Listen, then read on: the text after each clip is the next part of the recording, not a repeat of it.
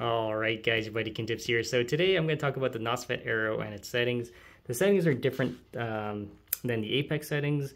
Uh, not so that you know it's the um, how to how to actually access it is a little bit different. Um, so basically, you want to hit this button right here, uh, hold it down, and you'll get into the menu.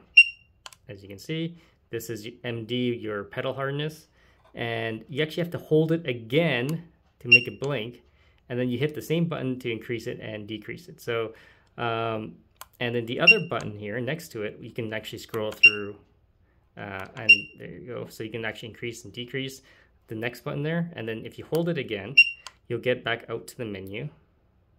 Oh, sorry, there you go. And then uh, you can use this to scroll through. As you can see, Um, so this is your, I believe this is your um, daytime running light and the auto sensor.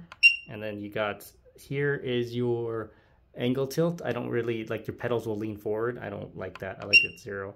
And then your alarm settings are on.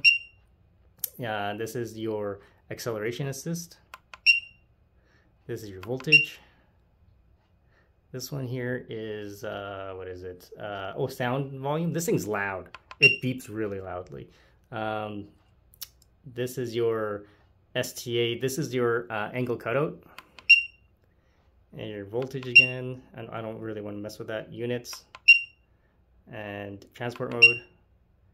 This is your calibration. Uh, this is your display brightness. And then uh, alarm settings. Um, think that's alarm settings, ALM. Let's double check this. So, um, yeah. And then PW, uh, PWT.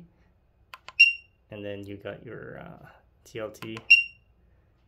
And that's it. So, uh, yeah, I'll put it in the description below uh, the, uh, what the definitions mean. All right, guys, stay tuned for more videos.